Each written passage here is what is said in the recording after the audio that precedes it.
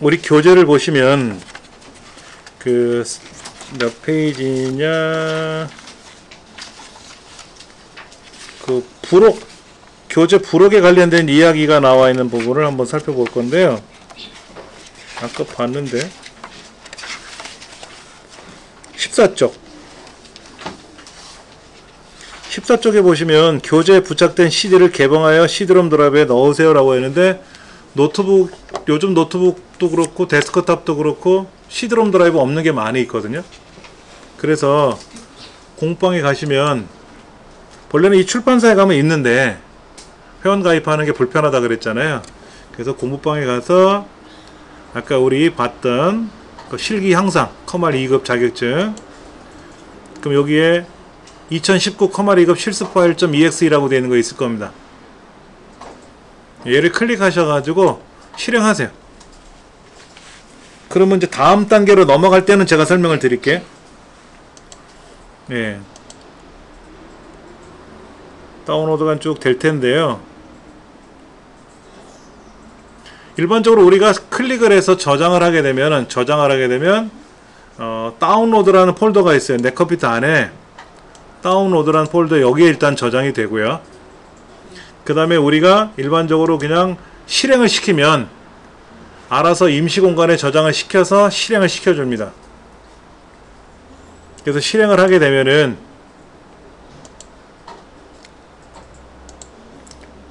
어디 갔대? 뭐 화면이 사라졌다? 그냥 훅 사라졌죠 그렇죠 다시 한번 볼게요 얘를 실행을 하게 되면은 아이씨 잠깐만. 이거 어디에 들어간 거야? 여기 자동으로 들어가 버렸네? 자동으로 깔려 들어가 버렸는데? 그렇지 않습니까? 14페이지 2번 보세요. 그 실습 파일이라는 거를 더블 클릭하면 뭐가 설치가 됩니다 라 그랬잖아요. 그렇지 않습니까? 근데 우리 강의실 컴퓨터가 C 드라이브 C 드라이브에 자동으로 설치가 돼요 길벗 컴활 2급에서 오늘 날짜 폴더가 생기고 설치가 되는데 껐다 켜면 얘가 지워집니다 우리 강의실 컴퓨터가 복원 시스템이 돌아가기 때문에 그래서 얘를 복사해서 복사해서 D 드라이브 D 드라이브에다가 여기다 붙여넣기 하세요. 여기다 붙여넣기 하세요. 이렇게 붙여넣기 하면 저는 이제 제 폴더에 따로 붙일 거고요. 여러분들은 이 D 드라이브, D 드라이브에다 붙여넣기 하면 여기에 길버 커말 2급이라고 들어갈 겁니다. 여기 이제 다른 선생님들이 이렇게 있는 것처럼, 음, 있는 것처럼 길버 커말 2급이 이렇게 들어가면 돼요. 저는 여기다가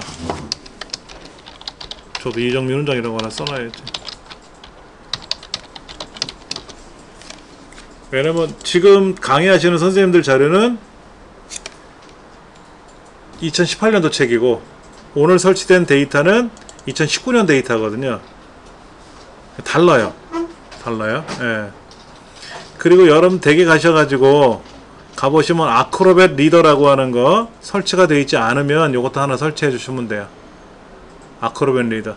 그래야 여기 보면 최신 기출 문제라든지 실전 모의고사라든지 이런 것들이 이런 것들이 이렇게 열린단 말이에요. 이런 것들 보셔야 되니까 이런 거 보셔야 되니까 이렇게. 음. 필요하면 뭐 제가 인쇄해서 드리면 되고요. 인쇄하면 되고 이렇게 데이터를. 그래서 아크로벳 리더라는 게 설치가 돼 있으면 여기서 설치해봤자 또 꽝 되니까 지워지니까 대개는 설치해 놓으시면 되고. 이렇게.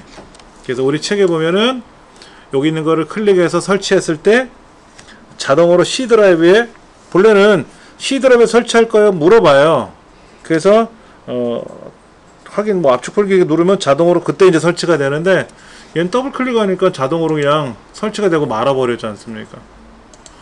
옳지 않아. 이렇게 하면 휙 넘어가 버렸잖아요. 그렇죠? 예, 이거는 선택권이 없잖아요. 그런데 이게 C 드라이브에 설치가 돼야 자동 채점 프로그램이 돌아가요.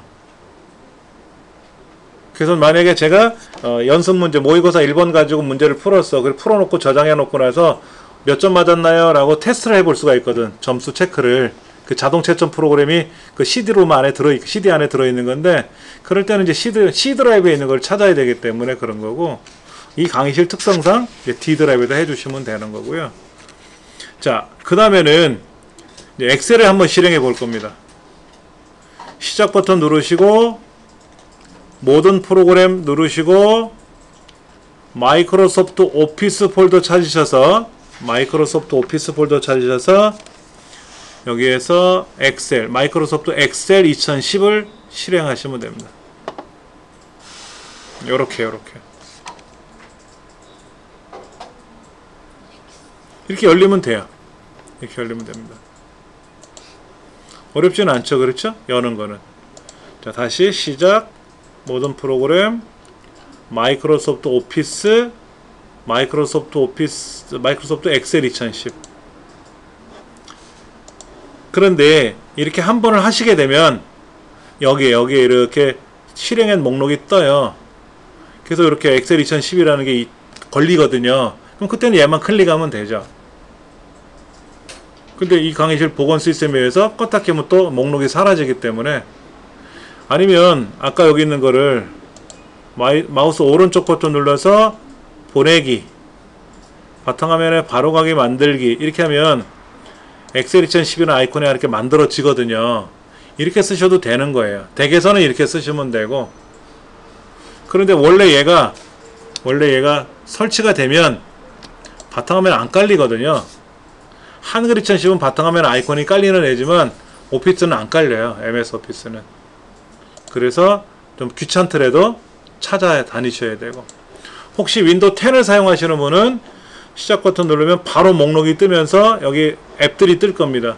거기다 오른쪽 버튼 눌러서 고정 뭐 이런 거에 하면 시작 메뉴에 고정 뭐 이런 거 하면 여기 오른쪽에 앱들 목록에 쫙 거기에 자동으로 들어가요. 그렇게 해서 쓰시면 돼요. 자 엑셀에 관한 전반적인 거를 여기서 설명을 쭉 훑어가기에는 시간이 부족하고 그래서 이 챕터별로 설명을 드리되 이 중에 어, 필기 시험에는 이런 게 나옵니다 라는 거 설명을 드릴 거고 실무적인 거에서도 이런 걸 많이 활용해요 라는 거 그런 팁을 제가 알려드릴 테니까 하나하나 천천히 진행하도록 할게요. 첫 번째 나오는 게 외부 데이터예요 외부 데이터. 외부 데이터란 말이 뭐예요 외부 데이터. 엑셀이 아닌 다른 프로그램으로 작성된 자료를 작성된 파일이죠 파일. 파일을 엑셀로 엑셀에 가져오는 가져오는 과정을 외부 데이터 가져오는 과정이라 그러는 거예요. 엑셀로 만들었으면 그냥 열기 누르면 되는데 엑셀로 만든 게 아니란 말이에요 그러면 어떤 거로 만들었다는 거예요? 엑셀이 아닌 다른 프로그램으로 만들었다고 하는데 어떤 프로그램을 만들었다는 거예요? 한글은 아닙니다. 한글은 아니에요. 한글에서 만든 건 엑셀이 못 불러와요. 음. 액세스 액세스 엑셀의 할아버지 엑셀보다 엄청나게 어려운 액세스 이걸 우리는 뭐라고 하냐면 데이터베이스라 그래요. 오늘따라 광고가 엄청나게 올라오는데 네. 데이터베이스 프로그램에서 네. 관리 시스템이라고 하는데 DBMS라 그래요. 데이터베이스 매니지먼트 시스템 데이터베이스 관리 프로그램에서 제작된 것들인데 예. 액세스라든지 또는 옛날에 그 뭐 D베이스라든지 어디 갔어? D 베이스라든지 디베이스 3 뭐 또는 뭐 디베이스 4라든지 뭐 디베이스 관련 프로그램이라든지 하여튼 이런 등등등 이런 거로 제작된 프로그램으로 만들었는데 이 엑셀에서 가져올 수가 있게 돼요. 그리고 또 하나는 어, 메모장 우리 시험은 메모장으로 제작된 거를 가져오게끔 물어봐요. 액세스로 제작된 거를 가져와라 이런 거는 1급에서 물어봅니다. 음. 메모장 메모장 지금 제가 메모장에 글을 쓰잖아요 이렇게 쓴단 말이야 예를 들어서 어, 중간고사 성적표 이름 여기 한한줄 띄고 컴마 국어 컴마 영어 컴마 수학 홍길동 컴마 100점 90점 80점 뭐 일침에 90점 80점 100점 이렇게 입력을 할 거 아닙니까 이렇게 입력을 해 놓은 거를 엑셀로 가져가고 싶은 거야. 이런 것들이 이런 것들이 외부 데이터 가져오기에 관련된 문제예요. 네. 엑셀에서는 워드 프로세스나 데이터베이스에서 작업한 데이터를 불러와서 사용할 수가 있는데 이때 워드 프로세스는 아래 한글은 아니다라는 얘기죠. 어, MS 워드는 가능할 수 있겠죠? 근데 MS 워드에서 예를 들어서 막 이미지 가져와서 그림 그려서 붙이고 이런 거 말고 단순히 글자처럼 보이는 애들 이렇게 작업을 했단 말이에요. 그리고 아래 한글도 만약에 이렇게 글을 써놓고 저장을 할 때 텍스트 파일로 저장을 시킬 수가 있어요. 텍스트 파일로. 그럼 메모장에서도 불러볼 수가 있거든요. 그렇게 저장된 데이터를 엑셀에 가져와라 이거죠. 예를 들면 그런 거예요. 부장님이 부장님이 이제 어, 출장을 가셔야 되는데 과장님이 출장을 가셔야 되는데 어, 타자는 안 그래도 더뎌 죽겠는데 엑셀은 좀 할 줄 아시는데 타자가 더뎌. 근데 출장을 가야 되니까 데이터 입력을 못 하잖아요. 아, 근데 이번에 새로 들어온 인턴이 되게 잘해. 입력을. 근데 엑셀을 또 안 배웠다는 거야. 그러면 과장님이 그러죠. 인턴 보고 요거 데이터 메모장으로 입력만 좀 해달라고 얘기를 하겠죠. 그럼 이렇게 쫙 입력을 할 거 아닙니까? 그래서 이제 점심시간 지나서 출장 가서 와보니까 어, 어마어마한 양을 입력을 해놨단 말이야. 저장을 해놨단 말이야. 그럼 그걸 엑셀로 샥 가져와서 바꿔버리면 되는 거야. 그런 거. 음. 한번 해보죠. 뭐. 일단은 얘는 지금 통합문서 1이라고 되어 있는 거는 그냥 엑셀을 실행하면 무조건 열리는 거고요. 답안지가 아니잖아. 답안지 파일을 먼저 열 겁니다. 파일에 가서 열기. 그럼 아까 우리 어디다 저장했다 그랬죠? D 드라이브. 내 컴퓨터에 내 컴퓨터에 D 드라이브. 거기에 길벗 컴활 2급이라는 폴더가 생성이 됐단 말이에요. 오늘 날짜부로. 그렇죠. 가보시면은 01 섹션. 섹션 01 문제죠. 우리 지금 28쪽 꼭대기에 보면 섹션 01 외부 데이터라고 써 있으니까 얘를 열기 누르시면 지금 아무것도 없어요. 예제 무작정 따라하기 기출 01 기출 02뭐 아무것도 없습니다. 단지 위에 섹션 01 문제다 라고 하면 보이는 거예요. 그러니까 실제 시험을 보면 이렇게 문제지가 자동으로 쫙 열려요. 문제지는. 내가 파일에 가서 열기를 누르는 게 아니라 시험 시작하면 자동으로 문제지가 쫙 열립니다. 그러면 시험에서 요구하는 대로만 처리해 나가시면 되는 거예요. 입력하라 그러면 입력은 하지 말자 그랬고 뭐 계산 작업 나오면 계산하면 되고 이렇게. 자, 다음에 텍스트 파일을 열어서 열어서 어, 생성된 데이터를 무작정 따라하기 화면 밑에 보시면 무작정 따라하기란 시트가 있단 말이에요 그렇죠? 그 시트에 어디에다가 B의 두 번째 B라는 A, B, C, D 할 때 B라는 칸이 있고 1, 2, 3, 4 줄 두 번째 줄이 있잖아요 그 B와 E가 만나는 곳 여기서부터 시작해서 F의 열 번째까지 라고 해서 붙여놓으라고 했는데 그냥 B의 두 번째를 선택해놓고 명령을 걸면 수월해요. 여기다 명령을 걸면 알아서 이 안으로 쏙 들어올 거란 말이에요. 음. 자 그러면 어떻게 하는지 한번 볼게요. 외부 데이터는 C 드라이브 길벗 컴활 2급 섹션 폴더에 어, 그럼 우리는 어디에 있어요? D 드라이브에 있겠지. 실제 시험지는 실제 시험장의 시험지는 C 드라이브에 실제 시험은 실제 시험은 C 드라이브 C 드라이브 OA 폴더에 있어요. OA 폴더. OA 폴더에 외부 데이터가 있다. 원래는 C 드라이브 OA 폴더에 들어 있어요. 실제 시험은 우리는 연습이니까 C 드라이브 길벗 컴활 2급 폴더에 있는 거지만 어, 뭐 영진 출판사 책으로 공부하면 C 드라이브 영진닷컴 뭐 이렇게 이런 데 있겠죠. 여기는 이제 길벗 거니까 길벗 컴활 2급이라고 써 있는 거고. 실제 시험은 C 드라이브에 OA라는 폴더 안에 예. 여기 잠깐 보여드리면 C 드라이브 안에 지금은 없지만 이렇게 OA라는 폴더가 뭐야, OA OA라는 폴더가 이렇게 있을 거라고 실제 시험장에 가면 그럼 그 안에 우리가 필요한 외부 데이터가 이 안에 있다는 거죠. 이렇게 있다는 거지. 자 그러면 어떻게 가져오느냐가 중요한 거죠. 데이터. 얘를 불러오는 방법이 세 가지가 있어요. 불러오는 방법이 세 가지가 있는데 첫 번째 한번 볼게요. 데이터라는 메뉴 탭이라 그래요. 데이터 메뉴 탭. 저 위에 있는 홈, 삽입해서 데이터라는 글자가 보이잖아요.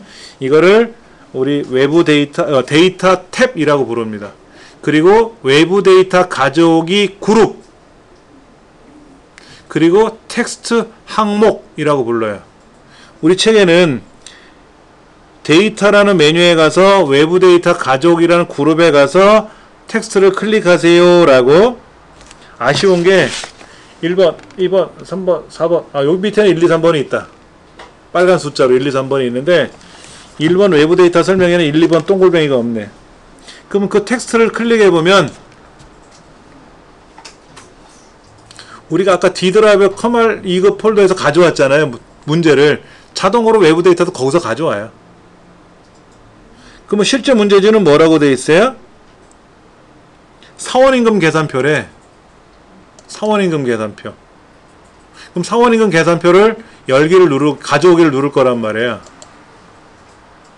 그럼 요렇게 뜰 겁니다. 요렇게.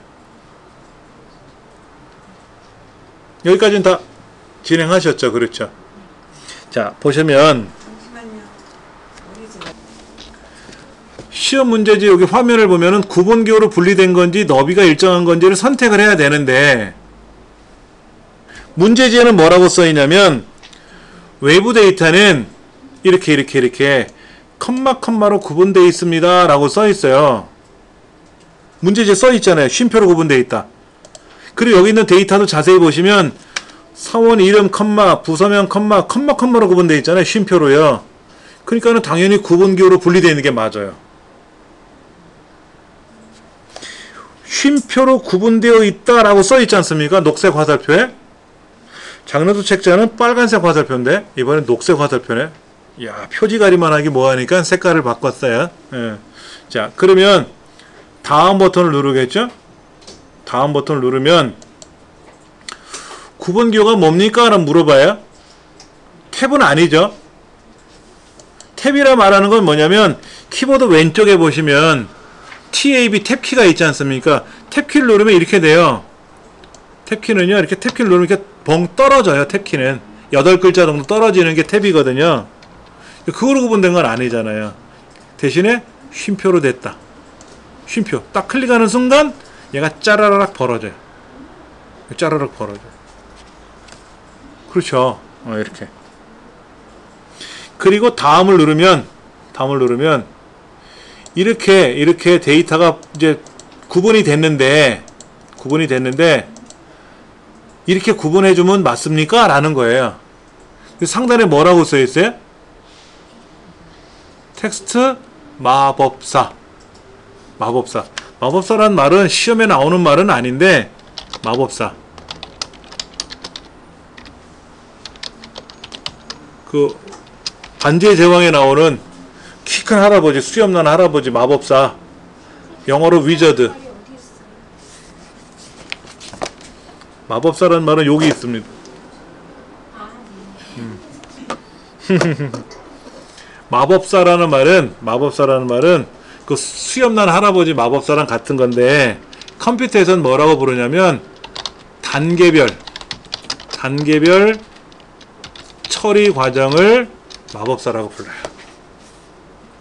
전체 3단계가 있는데 첫 번째 단계는 이렇게 할 거고 저렇게 할 거고 다음 넘어가서 두 번째 단계는 이렇게 저렇게 할 거고 다음 세 번째 단계는 이렇게 이렇게 할 건데 맞습니까? 라고 하는 과정 이거를 마법사라 그래요. 그래서 설치 마법사, 삭제 마법사, 무슨 마법사, 무슨 마법사란 말이 컴퓨터에서 많이 뜨거든요.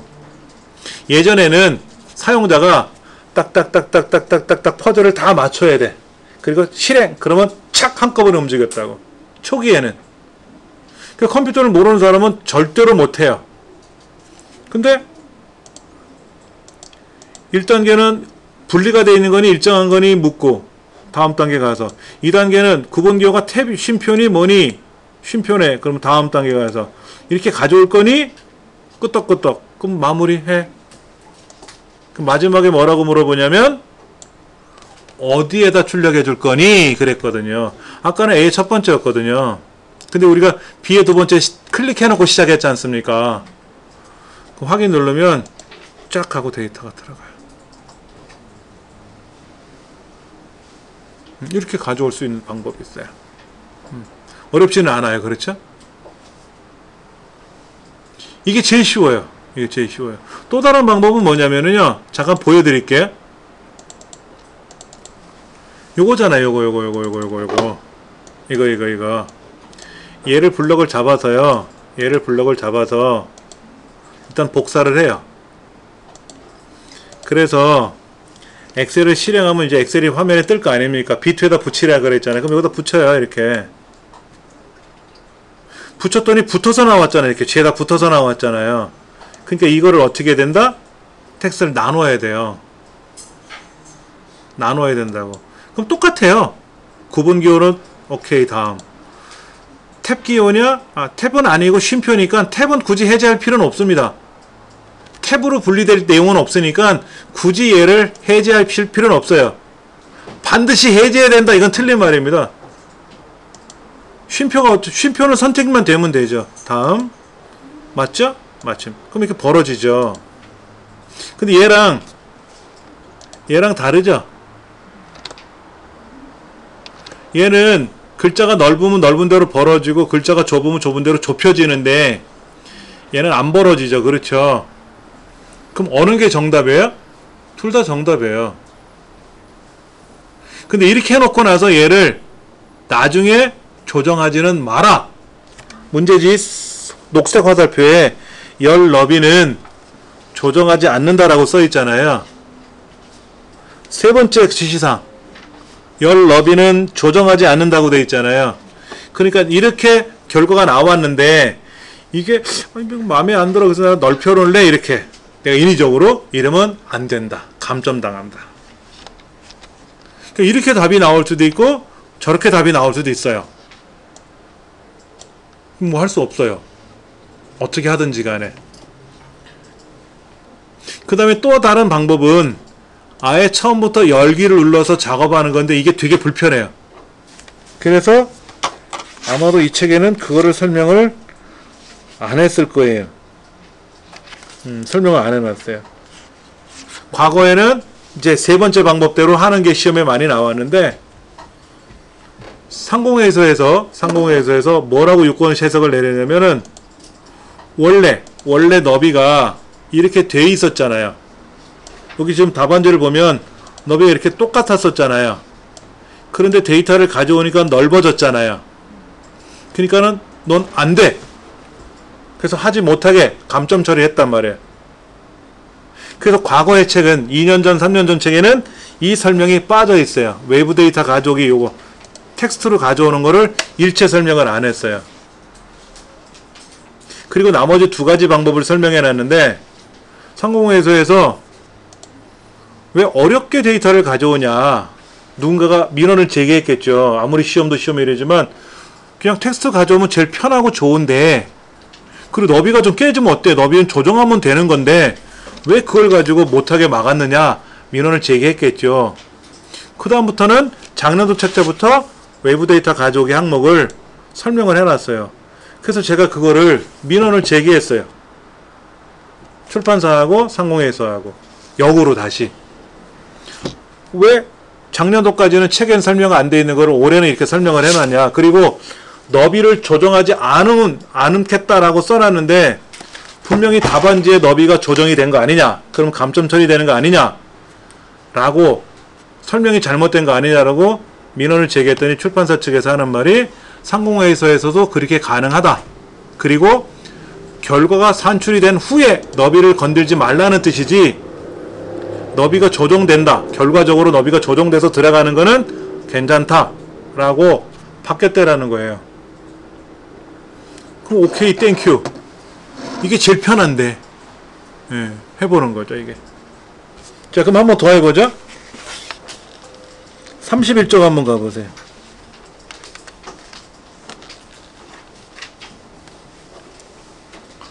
31쪽에 가시면 기출 공일 시트에서 작업하시오라고 써 있어요. 그럼 화면 밑에 무작정 따라하기 시트 옆에 기출 공일 시트가 있지 않습니까? 걔를 클릭하시는 거죠. 시험 문제가 이렇게 시트가 10개가 나와요. 그러면 이 문제는 어느 시트에서 푸시오? 어떤 문제는 어느 시트에서 하시오? 라고 나오니까 그대로 하시면 되고 여기에 A 두 번째, A 두 번째에다가 붙여놓은 다음에 텍스트 나누기를 실행할 거예요. 그럼 A의 두 번째를 클릭해 놓고 작업을 하시면 돼요. 그렇죠? 그런데 문제지가 뭐라고 되어 있냐면 데이터 파일을 열어서 여기다 붙여넣기 할 거예요. 붙여넣기 할 거고 붙여넣기 한 후에 붙여넣기 한 후에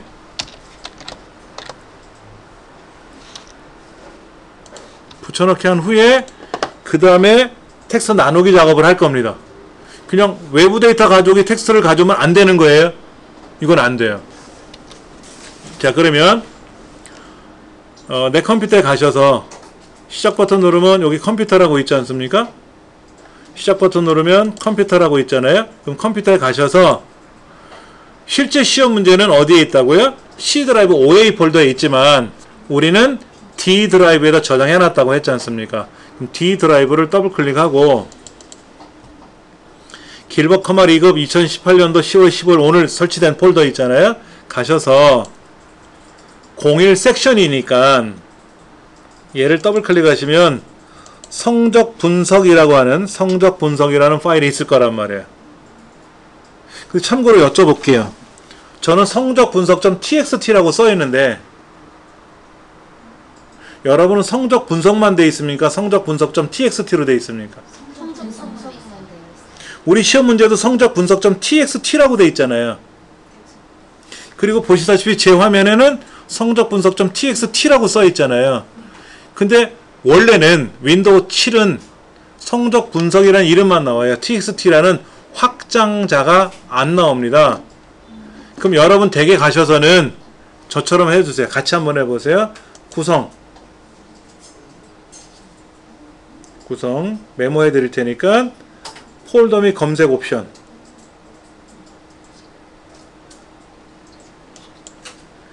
그러면 두 번째 보기. 두 번째 보기라고 있죠. 그렇죠? 그럼 보기 그룹에 밑에 밑에 밑에 쭉 중간 정도 내려오시면은 알려진 파일 확 형식의 파일 확장명 숨기기가 선택되어 있을 거예요. 얘를 해제하셔야 돼 얘를 해제하시고 확인을 누르시면 txt라는 게 보여요.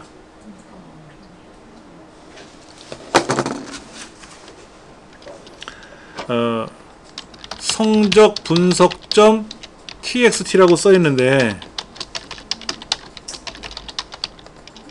이게 이 여기서 말하는 거는 이제 확장자가 확장자가 보인다라고 표현을 하는데 원래는 제어판에 시작에 가서 제어판에 가서 제어판 제어판. 여기 시작 버튼 누르면 제어판이라고 있잖아요.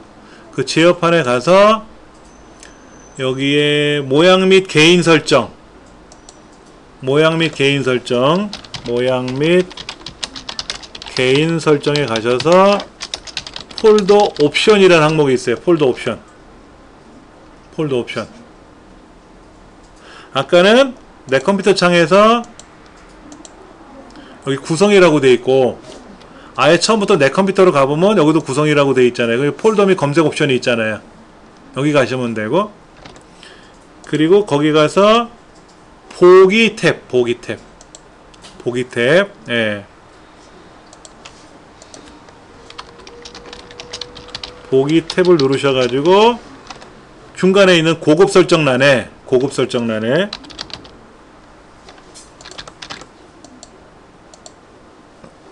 고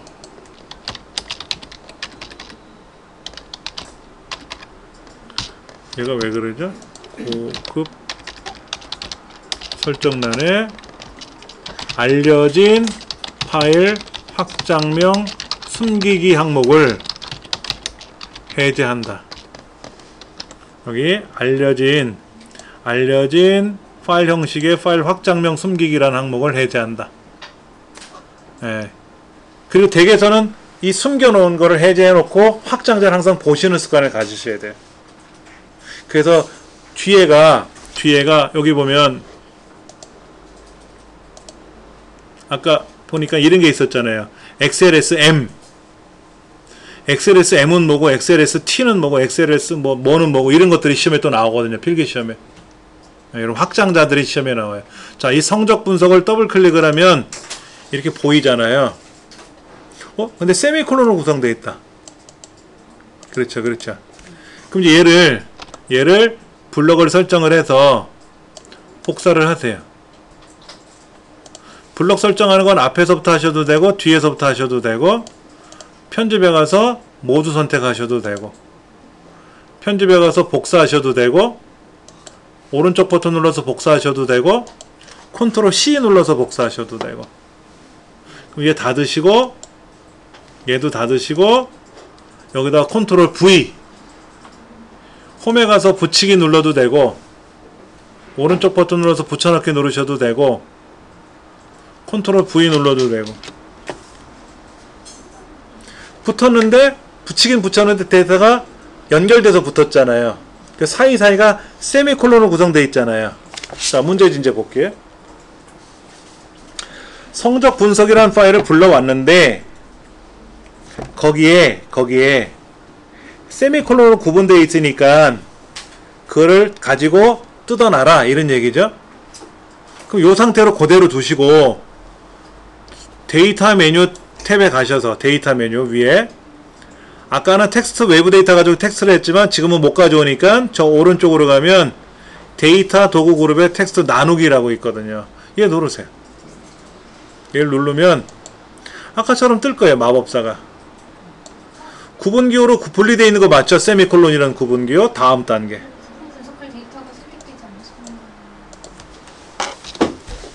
붙여넣기 하면 이렇게 들어와요.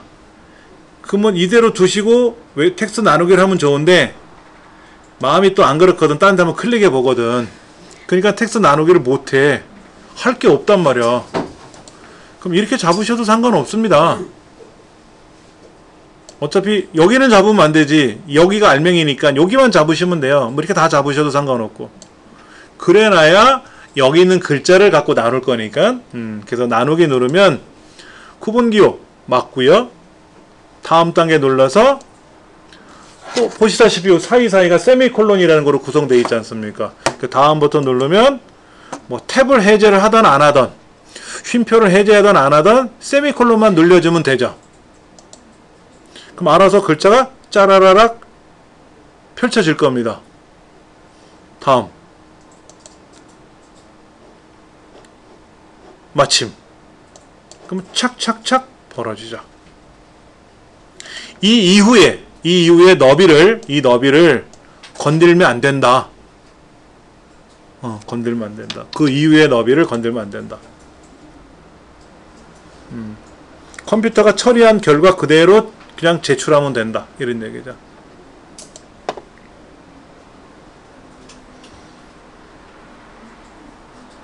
자, 그 다음 세 번째 걸 한번 해볼게요. 세 번째 거. 세 번째 거 이제 아까 세 가지가 있다 그랬잖아요.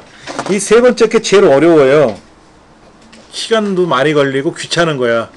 어차피 결과는 동일한 건데 그래도 시험 문제에 어, 얘를 복사해서 붙인 다음에 나누기를 하시오. 아까처럼 외부 데이터 가져오기로 하시오. 라고 하면 꼭 그렇게 하셔야 돼요. 외부 데이터 가져오기로 하라 그랬는데 복사해서 붙인 다음에 나누면 안 됩니다. 그러면 결과가 달라지니까. 음, 자, 기출공유 한번 가볼게. B2에다 붙일 거래. 총무부 사원 현황이라는 텍스트 파일을 열어서 B2 셀에 붙일 거래요. 그렇죠? 그러니까 B2에다 먼저 클릭해 놓고 가자 이거죠. B라는 칸하고 두 번째 줄이 만나는 곳. 그래서 B 두 번째 뭐 엑셀을 처음 배워보시는 분들도 그렇게 어려운 용어는 아닐 테고요.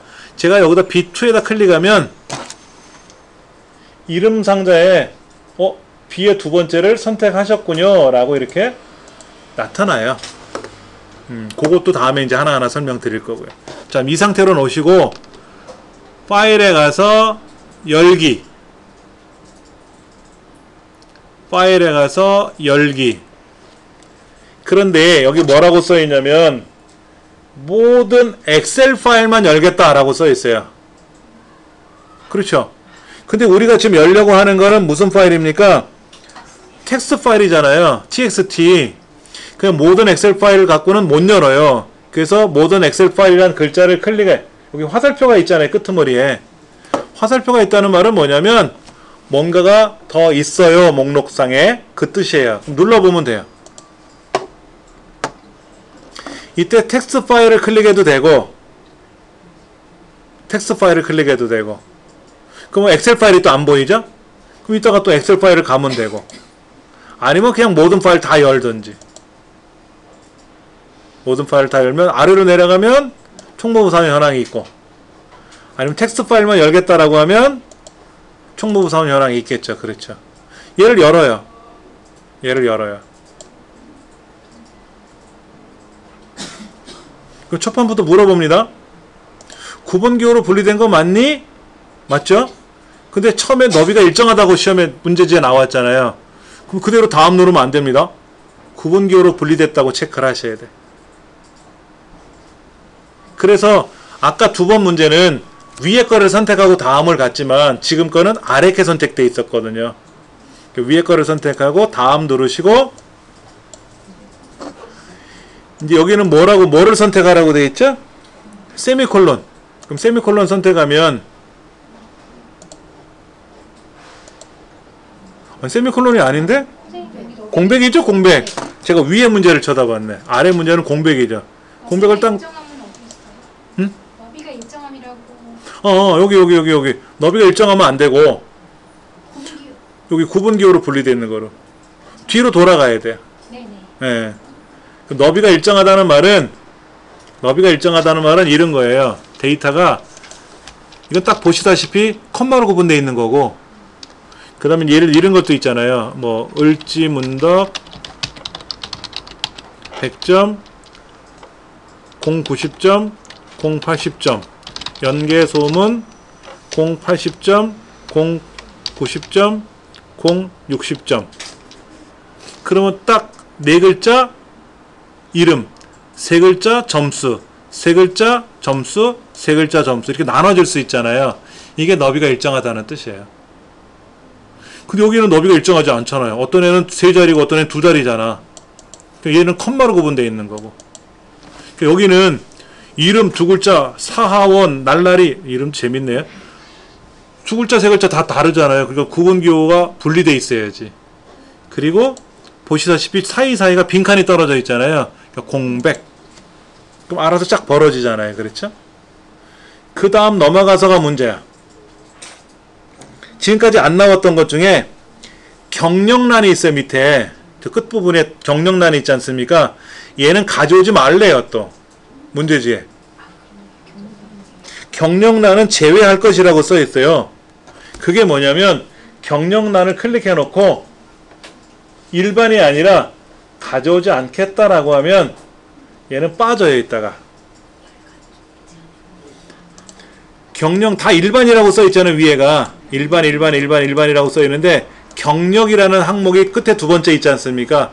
이 경력을 클릭해 주시고 네 번째 항목 얘는 가져오지 않겠다라고 해 주셔야 돼요 두 가지를 물어보진 않아. 주민등록번호도 가져오지 마세요. 그럼 주민등록번 클릭하고 또 가져오지 않음 이렇게 하면 되겠지. 지금은 경력란만 가져오지 않겠다라고 하는 거죠. 그리고 마침을 누르면 데이터가 덜컹하니 생겼어요. 근데 보시면 어디에 생겼나 보세요. 총무부 사원 현황이라고 생겼죠? 여기 생기면 안 돼. 얘를 복사해서 얘를 복사해서 아까 섹션 01 밑에 하나 또 열려 있지 않습니까? 거기 가면 기출 01이라는 시트 있잖아 여기 여기다 붙여 넣어야 돼. 근데 뭐라고 붙여 넣어야 되느냐? 그냥 컨트롤 V 누르면 돼요. 오른쪽 버튼으로 붙일 게 되게 많아요. 되게 많아. 뭐를 뭐를 붙여야 될지 모르겠지만 그냥 앞에 있는 거로 붙이면 되겠지 뭐. 이렇게 붙여 이렇게 이렇게.